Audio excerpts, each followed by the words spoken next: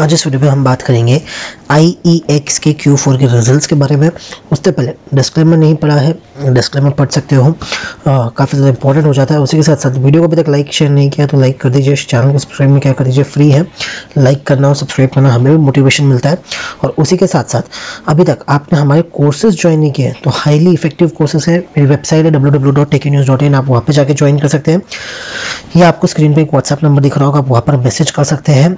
Live trading के अंदर हम मोस्टली मार्केट आवर्स के अंदर बताते हैं कि कॉल पुट क्या खरीदना चाहिए, क्या मेरी एनालिसिस है। जैसे कि आज हमने शेयर किया था निफ्टी का पुट खरीदना चाहिए, आज निफ्टी वीक है तो हमने सेवनटीन थाउज़ेंड वन हंड्रेड का पुट खरीदा पर lot two thousand five hundred रुपये से ज़्यादा हमने अर्न किया पर लॉट में कह रहा हूँ। और इन्वेस्टमेंट थी उसके अंदर पुट बाइंग के अंदर मिनिमम छः हज़ार रुपये का, खाली पाँच या छः हज़ार रुपये में आप एक पुट बाय कर सकते थे, उस पर आपको ढाई हज़ार रुपये का रिटर्न मिला, यानी करीब करीब फिफ्टी परसेंट का रिटर्न मिल गया एक ही दिन में। तो अगर आपको भी ऐसे प्रॉफिट्स कमाने हैं तो आप ज्वाइन कर सकते हो। मैं कोई गारंटी प्रॉफिट्स नहीं दे रहा हूँ। मैं मेरी एनालिसिस शेयर कर रहा हूँ आपके साथ। आपको शायद थोड़ा इंट्राडे के अंदर या वीकली या डेली एनालिसिस में आपको थोड़ा सा एक एक्स्ट्रा एज मिल सकता है, क्योंकि आपके अलावा एक और है कोई जो सोच रहा है। फिर आप एनालिसिस उस तरीके से बिठा कर कर सकते हैं अगर आपको करना है तो। अब हम बात करेंगे आई e के Q4 के रिजल्ट्स के बारे में। आज आने वाले हैं आई e के Q4 के रिजल्ट्स उसके पहले चार्ट पैटर्न कैसा दिखा? है चार्ट पैटर्न की अगर मैं बात करूँ तो चार्ट पैटर्न वीक लेकर है एक चीज़ मैं क्लियर कहूँगा चार्ट पैटर्न वीक दिख रहा है। हायर वॉल्यूम के साथ बाइंग हुई और फिर पूरा कंसोलिडेट किया। यहाँ पर एक हेड एंड शोल्डर पैटर्न बनाया, उसका ब्रेकडाउन दे दिया।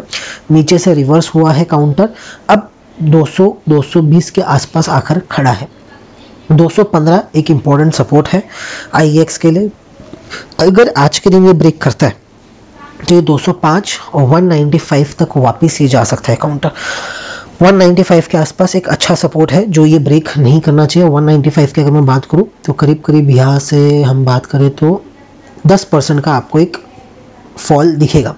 ऊपर अगर मैं बात करूँ तो ऊपर ज़्यादा गैप नहीं है। ऊपर छः परसेंट का मूव आ सकता है अगर रिजल्ट्स अच्छे आए तो 230 235 तक जा सकता है। उसके ऊपर फ़िलहाल मैं देख नहीं रहा हूँ। जब तक 235 फ्रेश अगर किसी को लॉन्ग जाना है या इन्वेस्ट करना है या लॉन्ग जाना है अगर किसी को शॉर्ट टर्म के लिए तो वो 235 जब तक पार नहीं करता है आईएक्स जब तक आप फ्रेश लॉन्ग जाके कोई मतलब नहीं है।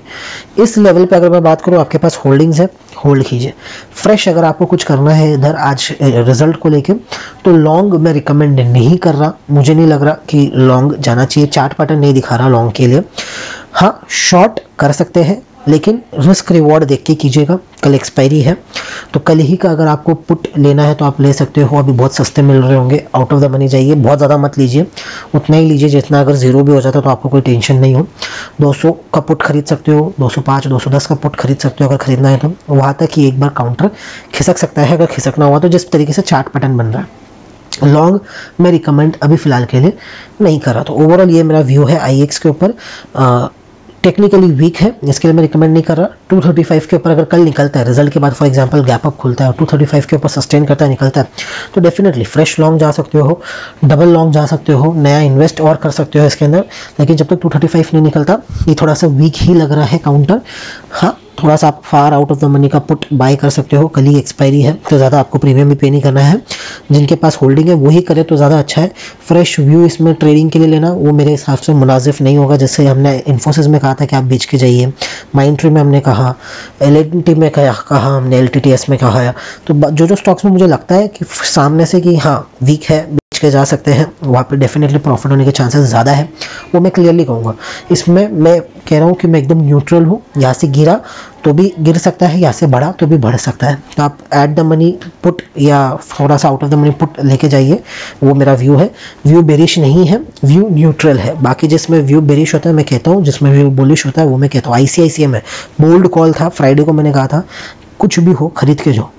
और आपने देखा मंडे को कितना अच्छा उसने ट्रेड ने प्रॉफिट कमा के दिया। शॉर्ट मत करो बाय करो। तो वैसे ही आईएक्स में न्यूट्रल व्यू है, कोई व्यू नहीं है। व्यू बनेगा तो टोटल 35 के ऊपर बाइंग का बनेगा 215 के नीचे सेलिंग का बनेगा। धन्यवाद।